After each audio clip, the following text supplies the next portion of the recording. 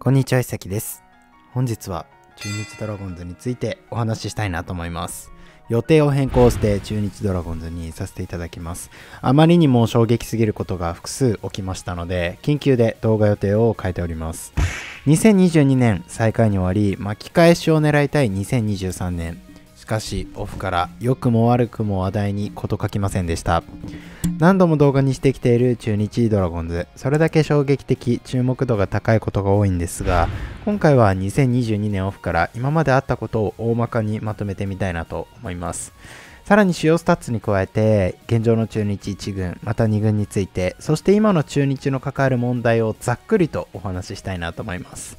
まず中日の関わる問題をまとめて内野の人数問題。まあそれぞれお話ししていきますがキャッチャー内野の人数不安が今の課題です。キャッチャーは加藤選手の追加でまとまっていましたが内野は怪我人続出のため大量追加ながら二遊間でセカンド福永選手溝脇選手ショートはカリステリュウク選手しかいない状況。復帰も石垣選手が離脱していたこと。田中幹也選手が長期離脱。村松選手が離脱。星野選手も入経験が少なく堂上選手も二遊間としてのプレーが近年はありませんので1軍二遊間と考えるとこの4人しか選択肢がありません。なので1人いなくなった場合進んでしまうというところです。そして左の長距離打者問題。22年左打者最多ホームランは京田選手の3本その次が高橋周平選手の2本。ビシエド、アキーノ、石川選手、鵜飼選手、細川選手らパワーヒッターが皆右なので左バッターを入れるとなると高橋周平選手か誰かを外してアルモンテとするしかないので左スラッガーが課題であり続けます。そして助っ人長打力課題。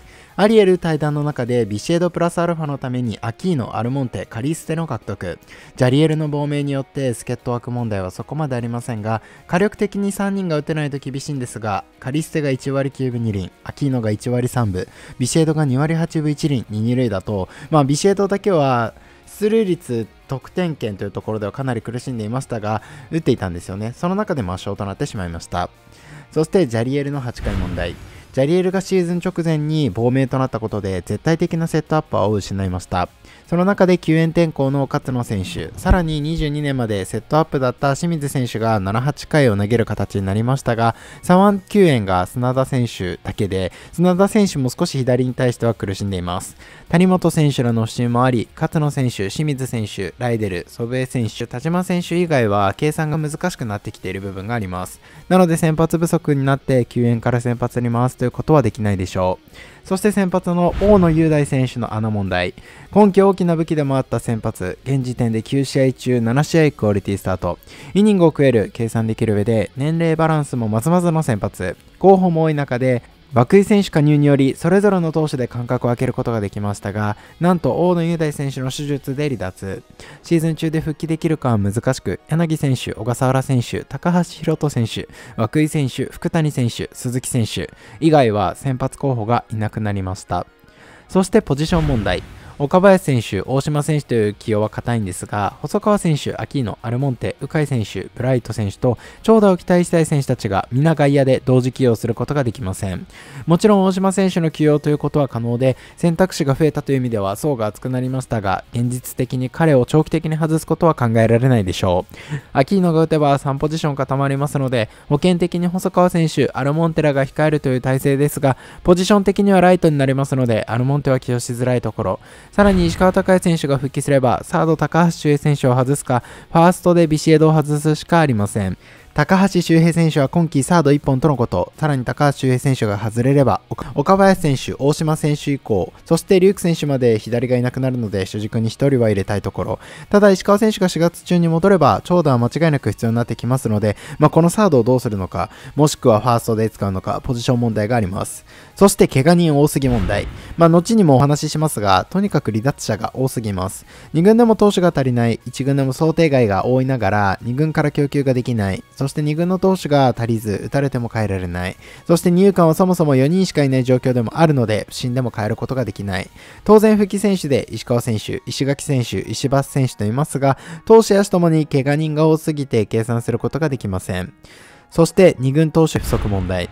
2軍投手が怪我人まみれな上で請求が破綻してしまっています。18試合で126失点、四死球が101。確かに一番試合数が多いんですが、失点数はダブルスコアをつけようとしています。それでも離脱者ばかりなので、他の選手を起用することができず、負担もさらに増えています。育成どころではありませんし、供給どころではない。去年の所沢の投手不足を彷彿とさせる現在かなと思います。そして主要スタッツをまとめるとこちら。はい。現在4月12日の情報ですが、球団の得点の半分近辺になっています。打率は最下位ではありませんが、すでにヤクルトの得点の25の半分近辺なので、かなり低いことがわかるでしょう。あと1本に苦しみ続けるチームではありますが、実は得点圏打率は4位で、広島、ヤクルトよりは良い数字になります。といっても長打が1本なので、広島のようにデビッドソンのホームランでカバー、そして上がり始めてきたヤクルトとは長打力が違います。なので得点圏もある程度収束するとは思いますし OPS はすでにワーストとなってしまいました得点に関しては現在栗原選手の打点と同じ13ですだからこそ先発の QS 率78%でぶっちぎり、9試合のうち7試合がクオリティスタートながら先発に勝ち星がついたのは1試合だけでした。特に広島戦の柳選手は味方のエラーから2失点、自責点こそ2ではありますがかなり不運でした。開幕戦こそ逆転勝利を挙げることはできましたが、高橋宏斗選手以外先発に勝ち星がついていません。純粋な勝敗数で言えば、去年の阪神が1勝15敗1分けだったので、その倍の勝利を挙げることはできているんですが、チーム状況、戦力が違いすぎて、並べることもおこがましいでしょう。9試合で7試合クオリティスタート、福谷選手が1試合厳しかったんですが、今季の先発は頼もしい。救援で突然の亡命という形の対談はありましたが、それでもここまで安定して先発がイニングを食えているからこそ、救援の負担は多少減らすことはできているかなと思います。まあ、しかし何度申し上げているように勝ち星が1です。そしてチーム全体で援護率は1.13というあまり見たことない数字になっております。もう先発投手が失点した時点で厳しい。当然他のチームにもそういうチームはあるんですが、ここまで記録的な頻打というのは2年ぶり。当然まだ9試合なので、今後上げてくれる可能性は十分あるでしょう。新助っ人秋野の状態が上がりませんが、やはりここは我慢してほしいところ。二遊間の人数不足でカリステも買いが効かない状態。まあビシエドの状態が上がってこないとはいえ、させない状態。その中で抹消というのは正直かなり驚きというか、理解に苦しみました。アルモンテも守備で苦しい起用派はかなり限られてくると思いますが、こういう時に打ってくれないとなかなか戦力になってくれない。こういう時に打ってほしい。そのための獲得だと思うんですよね。木下選手の状態もなかなか上がってはきませんが、チームとしては代わりを見つけることはできないかなと思います。で、主にあったことをまとめるとこちらです。はい。まあ、本当にざっくりとまとめるとこんなところ、あえてマイナスのことばかり並べていますが、希望的なところももちろんあります。福選手、石橋幸太選手、石川隆選手も早い段階で復帰することができました。ただ、戦力的に苦しい二遊間はもちろん、盤石に見えたリリーフ陣で怪我人が相次いだこと、さらに先発候補的なところでもいろんなことがありました。頻打ばかりが話題になりますが、正直一軍の頻打以外にも問題がありまくりですし、内野の編成問題に関しては何度も何度もお話ししてきました。もちろんいろんな動きがあった中で、開幕前には世界一の日本代表に勝利となったり、オープン戦でも長打が出たり、何より開幕戦で6得点で勝利と、今年は違うぞというところも見えていました。いろんな補強をしましたが、やはり助っ人が打たないと22年までの得点力課題は解決できません。他球団よりプラスの攻撃力を出すためには、助っ人が爆発しないと難しいですし、高橋周平選手が3割弱ということ、全てが噛み合って戦えるというのが、今のところ一つ叶えるの難しいんじゃないかなと思います。歴史的頻打でもあった2021年の OPS は6割2分2厘、得点405。22年は OPS6 割4分2厘、得点414。143試合ペースで考えると1試合3点は難しいまでも2点以上は取れていたので今のペースはまずいです。正直オフの動きも賛否こそあれどかなり本気度合いが伝わってきましたし補強ポイントではありましたので理解できる部分はありました。ただ2週間でここまで悲観的にならざるを得ない状況になるとは全く思っていませんでした。改めて怪我人をまとめるとこちらです。はい。育成選手を入れて合計22人。当然実戦復帰の6人がいますので、実際16人ではありますが、明らかに怪我人が多すぎるんですよね。左腕救援という観点では、砂田選手以外で、橋本選手、石森選手、岡田選手、福選手、福島選手となりますが、石森選手の請求不安があり、橋本選手以外一軍で考えることができない状況でもあったからこそ、砂田選手以外の起用がありませんでした。特に先発はまとまっていたと思っていた中で、大野雄大選手という柱が手術、登板回避ということが言われていましたが、あくまで体調不良だったり、中10日的とも言われていましたので、そこまで心配はしていませんでした。しかしなんとクリーニング手術、もともと抱えていた怪我であったそうで、肘を曲げることも困難になってしまったとのことです。戦力としても当然痛いですが、彼の肘がとにかく心配です。さらに少し調整的には遅れ気味で、開幕クローテから漏れた松葉選手がコンディション不良ということが分かりました。先発は小笠原選手、柳選手、涌井選手、高橋宏斗選手、福谷選手、鈴木選手らでなんとか回すしかありません。今季リリーフ転向となった勝野選手がジャリエルの穴を埋めるセットアッパー。正直リリーフはライデルにつなぐまでが不透明で、7、8回は勝野選手、清水選手で想定。本当は谷本選手、砂田選手らを左右起用と行きたかったんですが、現状難しい。田島選手、勝野選手、山本選手、ソベイ選手がジャリエル亡命の中でリリーフから配置転換されるというのは考えづらく、今のリリーフの大事なポジションを担ってくれています。1軍が極めて頻打、先発が救いだった中で候補が激減。では2軍はどうでしょうか21年のウエスタン防御率は109試合で4.47、四死球511、失点555、自責点477、100試合近辺ではありますので、1試合あたりで四死球は5、失点は5以上という形になります。4位のオリックスが13試合中日より多いんですが、失点が474なんですよね。なので80ほど違うんです。これが投資課題が一番見えてくるでしょう。その中で先にも申し上げましたが、中日2軍、現在10連敗中です。そしてなんと2軍のチーム防御率は6.55。支配下に向けて希望でもあった松木平選手が10失点。さらにあまりにも投手で怪我人が多いこと、さらに試合をまとめる投手がいないからこそ、森博人選手が3イニング、怪我明けでスピードが戻ってきていない柿越選手が4失点しながら4イニング投げないといけない状況。1軍は頻打ではありますが、2軍投手が今年も燃え盛っていますし、むしろその燃え方が派手になっています。ウエスタンは広い広い名古屋球場、ファールが異常に広い U 球場、ペイペイドームテラスがないサイズと同じサイズのタマスタ、圧倒的に広い上でとんでもない数が吹く舞島。甲子園と同じサイズの鳴尾浜が最も打者有利というくらい打者不利球場が多いので、本来投手が有利になる環境だと思うんですよね。で、先発候補は上田選手がいると言いたいんですが、今年の上田選手の状態が上がってこず、2軍でも厳しい内容。中津選手が苦しく、岡野選手も圧倒的な結果とは言っていません。鈴木宏選手、福谷選手が1軍にいていて、希望でもあった支配下候補筆頭だった松木平選手が10失点の大炎上。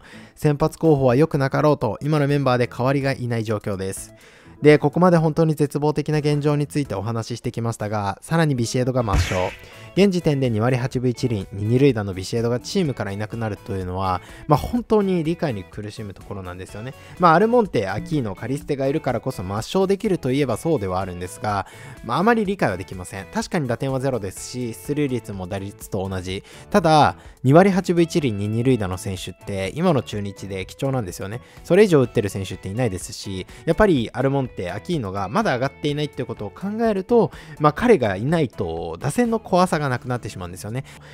まあ、ビシエドがこういう状態が悪い時に抹消してアルモンテ・アキーノを使う。そのための獲得なので、まあ、この2人にとってはチャンスですし、なんとか首脳陣も我慢してほしいところかなと思います。で、石川隆選手が早期復帰もできそうな感じなんですが、さすがに箇所が箇所なんですよね。なので、4月中とは思っていますが、4月前半の昇格とかなると、かなり心配です。2021年の、外野で若林学人選手が守備陣に人体損傷、同じ箇所を損傷して手術をしました。で、実際2022年の3月末、4月前半に実戦復帰とタイミング的には近かったんですよね。で、実際に1軍で起用されたのって5月末なんですよ。状態的には非常に良かったので、そこまで慎重に慎重に見ました。もちろん足を使うタイプ、外野と内野の差はありますし、まあ、タイプもホームランバッターとそうではない選手ではあるので違うんですが、やはり膝の感覚が戻らなかったことで若林選手は1年間苦しんだそうなんですよね。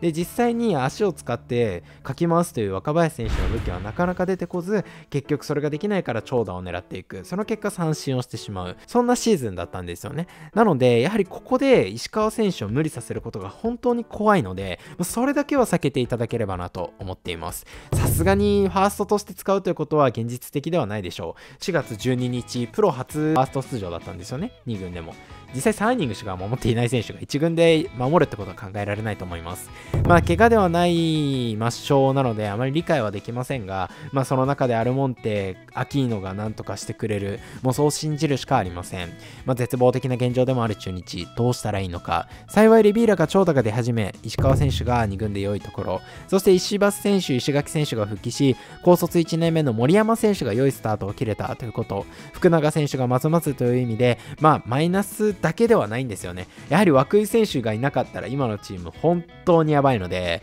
まあ、そのトレード自体がどうこうというのはまだこれから分かりませんが、涌井選手の存在は偉大です。2023年の中日も話題に事欠かない、まあ、正直どうしたらいいか分からないシーズンではあります。以上が本日の動画でございます。ご視聴ありがとうございました。